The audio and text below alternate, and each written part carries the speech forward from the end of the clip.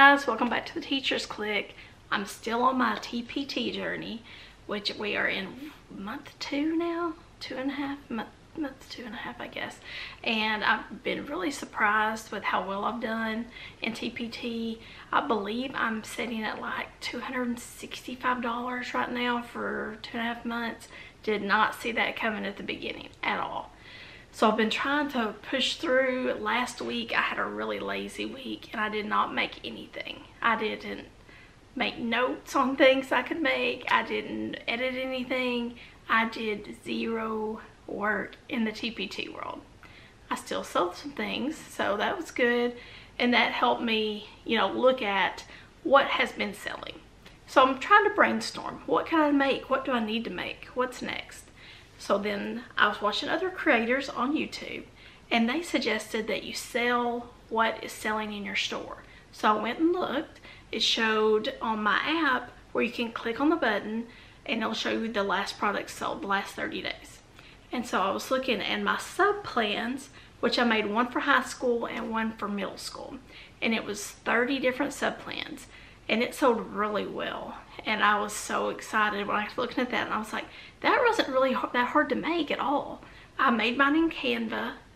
I looked at it, the ones that I had listed, and I had sold like, I believe 15 of the high school ones and like 10 of the middle school ones, something like that.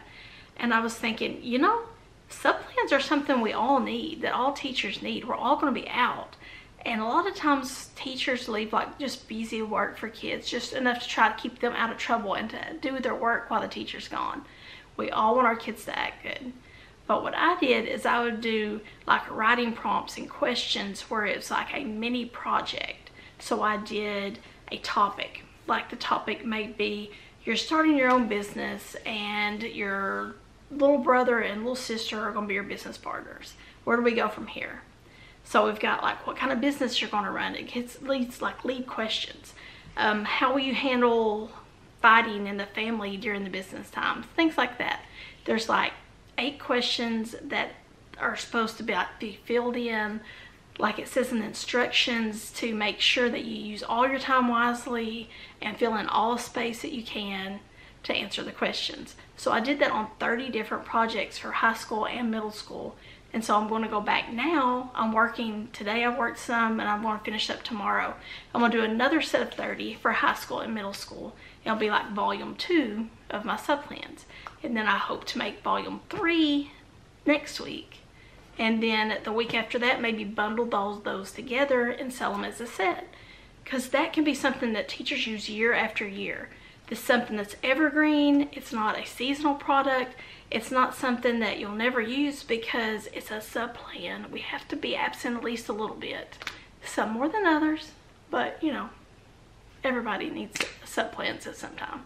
It's good to have these like to print off to put in your emergency sub file that you have in case something does happen. You never know what's going to happen. You always need that.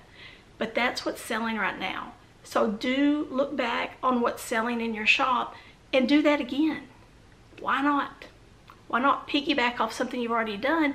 And also you can use the same format that you've used before. If it worked and people bought that format, that means they liked it. So make more of that same kind. Use that exact same worksheet. Change the words up. Change the pictures up on the worksheet. Make it interesting. But you can use the same format. That'll save you time. That way you can get things out faster.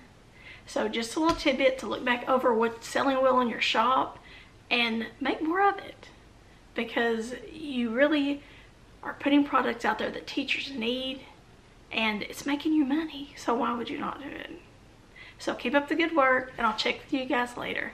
Bye guys.